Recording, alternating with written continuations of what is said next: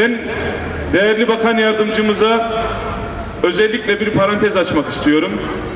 Bunu da sizlerin de bilmesi gerekiyor çünkü yaklaşık 3 yıldır belediye başkanlık sürecini yürüttüğümüz ve Tosya'mızın sıkıntı ve problemleriyle alakalı ne zaman kapısını çalsak büyük küçük demeden ya bu da bakan yardımcısına denir mi demeden birçok şeyi belki sizin haberiniz olmadan bizim ve başkalarının sosyal medya hesaplarından bunu da yaptık, bunu da kazandık, kazandırdık dediği işlerin birçoğunun altında değerli bakan yardımcımız Faruk Kaymakçı beyefendinin imzası var.